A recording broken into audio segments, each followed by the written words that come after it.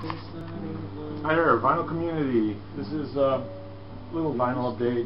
I have to do this. It's going to be another little update thing uh, before next Sunday. Uh, next Sunday I will be going to the biggest record fair in the world. And I'm going to try, so I don't forget, try to shoot some footage for you so you can see how big it is. It's it's gigantic. It's enormous. Um, it's uh, in Holland, and there's I don't know how many uh, people selling records and CDs and mem memorabilia. It's just huge. It's insane. That's this weekend. Uh, it starts Saturday, but Saturday's kind of I can't, I can't make it then because I got a got a concert to go to, which is the motorcycle concert. Uh, anyway, I hope to shoot some footage and I hope to pick up some really really cool records. Uh, but for that, I have to do this vinyl update. I got um, two 7 inches, which I thought were freaking awesome. And I got a bunch of records. First up, it's the Flying Lizards uh, Money 7 inch on Virgin. This is the US version um, of Virgin. And I never had this. I have the, their albums. I just didn't have the 7 inch with that, which has a, uh, a B-side, which is sort of a dub remix of the uh, these, these songs. So yeah, I'm pretty stoked that I found this. This is just great experimental avant-garde post-punk pop kind of. Then we got this 7-inch, which I do need to clean because it sounds like shit. Uh, Gilberto Gil is still playing in the background, by the way. This is Manfred Mann. My name is Jack. This sounds like it's. It doesn't look dirty, but it sure is.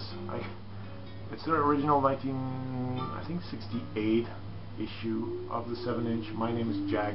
I love that track. It's from the movie called You Are What You Eat, which I have the soundtrack of. But on the soundtrack it doesn't say that that, that for Mann did it. Anyway, it's kind of a weird sleeve. It's just blank on the back side. But it's an original sleeve. So I'm, I'm stoked that I found this. And the LPs. First off, um, I buy this because Paul Weller's in it. This is Style Council's The Cost of Loving, which is a double 12 inch set actually. It's 45 RPMs each side. Uh, this sounds like typical late 80s soul pop kind of. Maybe even at times a little like Prince, but I don't know. I, I kind of think this is okay, but it just doesn't reach the level of the jam mm-hmm. or even his solo work, which I like better. But yeah, Style Council, I try to, you know, if I see it, pick it up. This is a compilation that I picked up. It's kind of a busted again, but you know, that's the thing with European releases. The the glue ain't always that good. But anyway, this is Black Sugar, Super Sound 73, a German compilation um, featuring some classic soul music. This is from 1972. Yeah, it says 73 here, but it's originally from 1972. It had a couple of artists that I didn't have any records of, like the O'Jays, uh, Brenton Wood, Harold Melvin and the Blue Notes, um, Cain and Abel, Brenda and the Tabulations, and John John Rootman Henry and the Free Movement. Let's bring this a little down.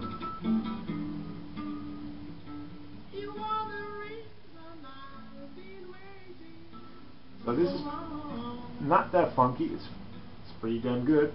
Come on, it's got Sly and the Family Stone on it. Great, great stuff. Then I picked up this. Falco, number three, his third album. Doesn't have an inner sleeve.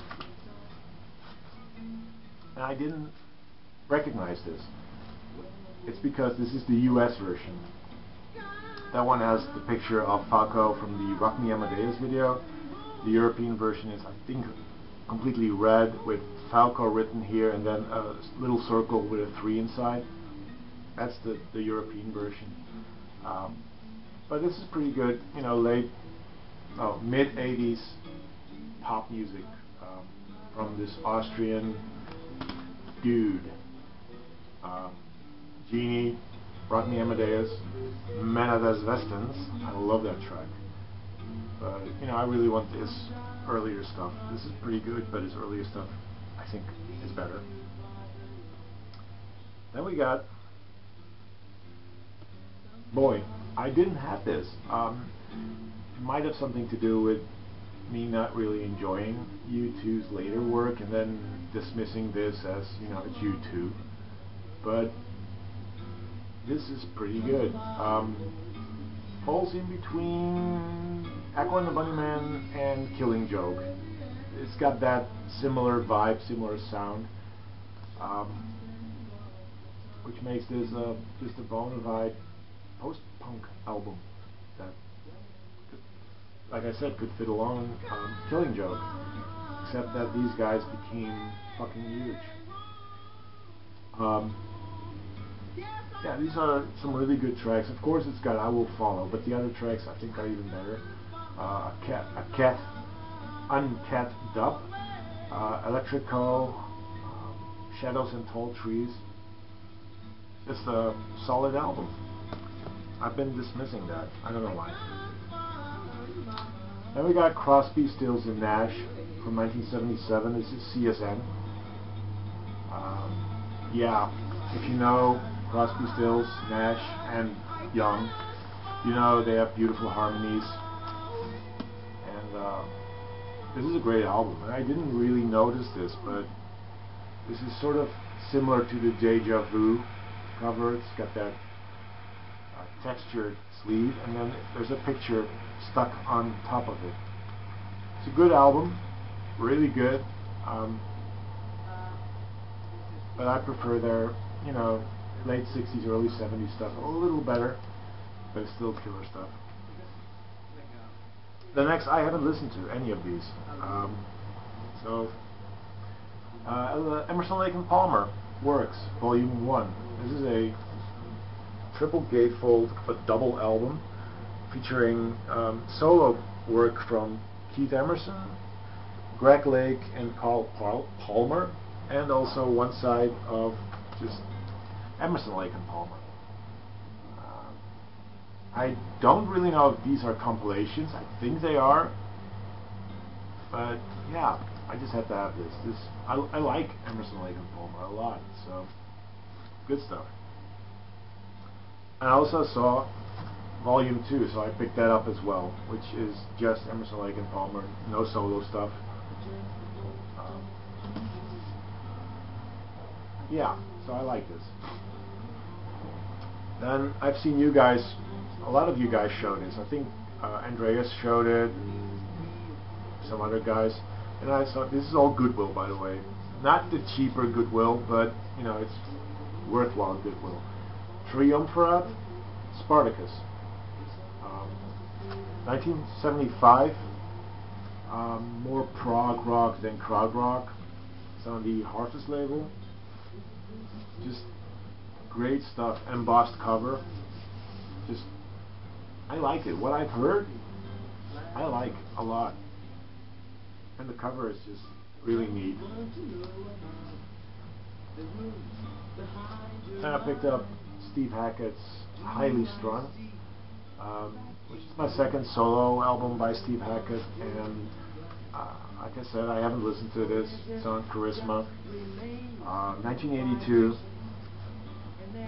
which kind of made me doubt whether I should pick it up, but you know, I'm giving this a shot. I like the other album that I have. I think it was called Please Don't Touch. I like that a lot, so this might might be up my alley. I don't know. This this surprised me. The Mighty Lemon Drops Out of Hand, which is a mini album. Um, I think it's a U.S. only uh, mini album. I love the Mighty Lemon Drops. Just great British indie pop uh, from the mid to late 80s. Just great stuff. I believe they were part of the, a movement called the C86 sound, which a lot of cool bands started out in. Uh, Primal Scream started out in that scene, uh, The Shamen, The Beloved, um, and I think this band as well. This really solid British pop, indie pop sound. Uh, I'm sure uh, Rob Paniques, you will love this. You will love the Mighty Lemon Drops. Then I also picked up Peter Gabriel Plays Live, double album on Charisma. Uh, I'm not going to show this too long. Uh, I think everyone in the vinyl community uh, with a, a, little interest in um, Genesis or Peter Gabriel has this. I didn't, but now I do. Good stuff. At least I think it is. I don't know. I haven't listened to it. James White and the Blacks, Sex Maniac. Um, James White um, used to be in the Contortions, which was a very um, important band in the no wave movement of New York, late 70s. This is from 1982. It's funky. Uh, kind of reminds me of Pigbag, which is a side project of the pop group. I'm talking post-punk here, so if you don't know post-punk, you're probably going like, what?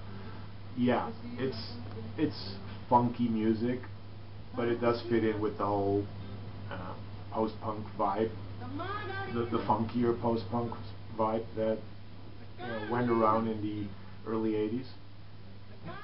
So I'm really interested in this. I haven't listened to it. Just quickly, you know, Neil dropped it, but funky, jazzy, post-punk. Then we got Adolescent Sex by Japan. Um, I don't have a lot of really old stuff by Japan. Um, this is on German Hansa. Um,